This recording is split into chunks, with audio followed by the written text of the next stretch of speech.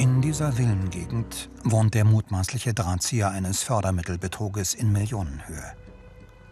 Dietmar B., ehemaliger Abteilungsleiter beim IHK Bildungszentrum in Dessau. Hallo, Herr. Er will mit uns nicht über die Ermittlungen der Staatsanwaltschaft reden. Der Verdacht Betrug in besonders schweren Fällen. Die Presse spricht von einer Fördermittelmafia. Das Verfahren ins Rollen brachte ein vom IHK Bildungszentrum beauftragter Privatermittler. Man ist auf die Idee gekommen, Fördermittel zu akquirieren, Gelder zu akquirieren, die Maßnahmen nicht durchzuführen und die Gelder unter sich zu teilen. Ausgangspunkt ist das IHK Bildungszentrum in Dessau. 2005 wird es neu erbaut, mit modernen Seminarräumen, in denen nun fort- und weitergebildet werden soll. Dazu müssen Aufträge her. Der Job von Dietmar B.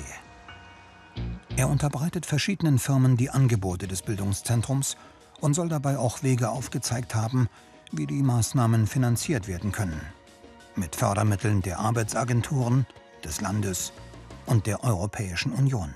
Die Fördermittel wurden von den Firmen beantragt, deren Mitarbeiter außen weitergebildet werden sollten. Es ging um Beträge ca. 17.000 bis zu großen Maßnahmen von einigen hunderttausend.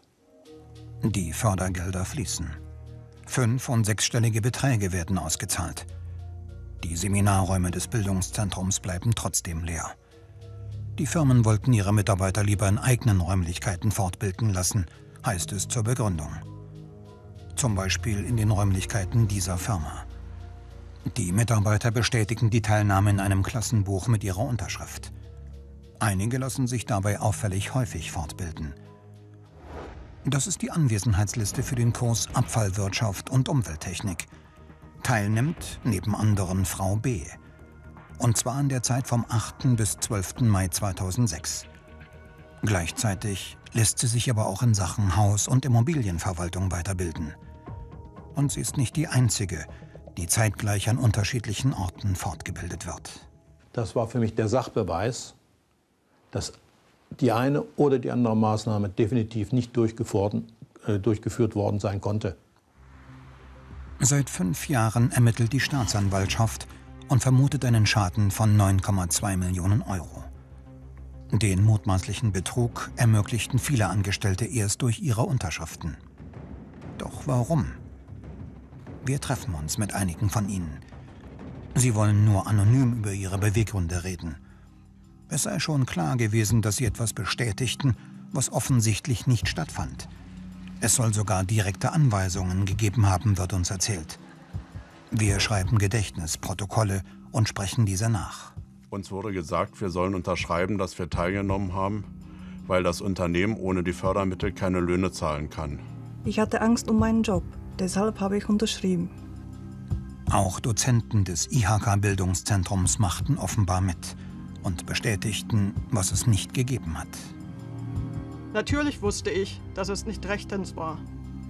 Aber die finanzielle Situation des Bildungszentrums war so prekär. Einige meiner Kollegen sind ja schon entlassen worden. Und das zahlte sich offenbar auch für das IHK-Bildungszentrum aus. Laut Kontoauszügen sollen fünfstellige Beträge an das Bildungszentrum geflossen sein.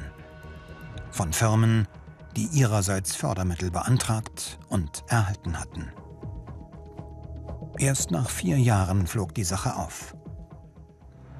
Zu den Beschuldigten gehört auch ein ehemaliger Referatsleiter des Wirtschaftsministeriums. Obwohl nicht er, sondern Jobcenter und das Landesverwaltungsamt die Fördermittel vergaben. Welche Rolle spielte der Mann im Wirtschaftsministerium? Es gab im Ministerium bei der Vergabestelle einen befreundeten Mithelfer, der immer dann, wenn es prekär wurde, die Wogen geklettet und sichergestellt hat, dass die Fördermittel auch genehmigt wurden. Seit fast einem Jahr beschäftigen die internen Vorgänge auch einen Untersuchungsausschuss des Magdeburger Landtags. Klar geworden ist bislang, Anrufe aus dem Wirtschaftsministerium wurden offensichtlich als bindend empfunden wenn aus dem Ministerium eine solche äh, Anweisung kommt oder eine solche Mail kommt, ein Anruf kommt, ist das auszuführen. Darunter verstehen wir natürlich eine entsprechende, ja, äh, nicht berechtigte Einflussnahme aus dem Ministerium. Der betreffende Referatsleiter arbeitet mittlerweile nicht mehr im Wirtschaftsministerium, sondern im Ministerium für Arbeit und Soziales. Er selbst will sich zu den Vorwürfen nicht äußern. Stellung bezieht stattdessen der Pressesprecher des Ministeriums. Wir haben trotz Nachfrage von der Staatsanwaltschaft bislang nicht erfahren, in welcher Dimension wirklich gegen den Mitarbeiter dieses Ministeriums ermittelt wird. Das Ministerium steht hinter dem Mitarbeiter und aus Fürsorge äh, für den Mitarbeiter und zum Schutz auch seiner Person ist er mit einem anderen Aufgabengebiet in der Arbeitsmarktabteilung betraut worden.